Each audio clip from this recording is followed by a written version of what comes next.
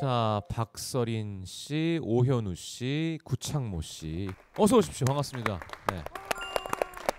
구창모 씨, 배철수 씨랑 인사 나누시죠. 선배님 안녕하십니까? 아, 평소에 구창모 씨는 이렇게 깍듯이 안 하는데 저는 뭐 구창모란 이름이 너무 친숙해서 예, 마치 예전부터 알고 있던 사람 같습니다. 저도 그런 것 같네요. 하도 많이 들어가지고요 어릴 때부터. 세 분의 무대를 보면서 우리 세 가수가 다른 오디션이랑 다른 지점이 아마 이런 부분이겠구나라는 생각이 들었어요. 나이는 아직 어리지만 자기의 경험에 의해서 어, 나의 것들을 만들어가고 있는 친구들이 드디어 나오기 시작했구나라는 생각이 너무 반가웠고 아 우리가 찾던 가수가 이분들이구나. 아 우리가 찾던 가수가 이분들이구나라는 생각이 들었습니다. 확실히 우리 때랑은 좀 다른 느낌들이 확실히 있는 것 같아요. 그러니까 이 영일만 친구가 오래전에 발표된 노래인데도 요즘 노래처럼 들리게 하는 그런 느낌들은 정말 요즘 세대이기 때문에 가능하지 않을까라는 생각이 들었어요. 아니 제가 최백호 형하고는 뭐 아 형님이 더 형님 아니세요? 매주 아 형님이 더 형님 아니세요? 매주 백호 형이 형이지. 야 이 사람아 백호 형이 세 살이나 많은데 그 형은 70대야. 발끈하셨어. 근데 예전에 축구팀에서도 같이 축구를 했고 예, 예.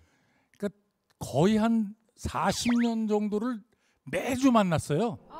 근데 그렇게 흡족한 얼굴로 앉아 계신 모습은 제가 오랜만에 봅니다.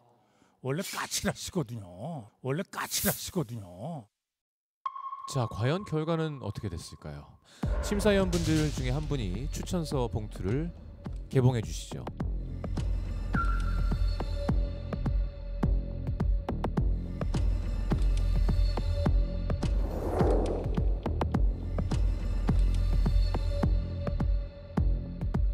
우선 영일만 친구를 부른 오연우를 굉장히 떨립니다. 올라갔으면 좋겠어요. 추천합니다. 추천합니다. 오현우 씨는 2라운드에 진출하게 되었습니다. 감사합니다.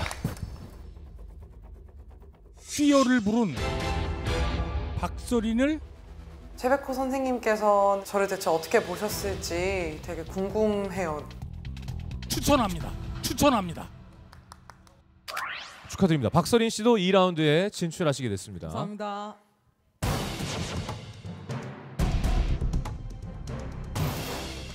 모두가 사랑하리를 부른 구창모를 추천서 꼭 받아서 다음 라운드 넘어가고 싶어요. 추천하지 않습니다. 추천하지 않습니다. 아,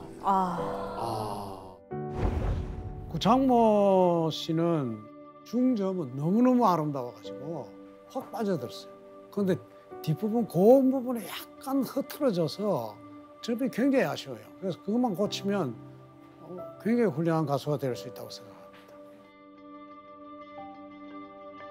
자, 최백호조에서는 아쉽게도 박서린, 오현우 씨만 최종 합격되었습니다.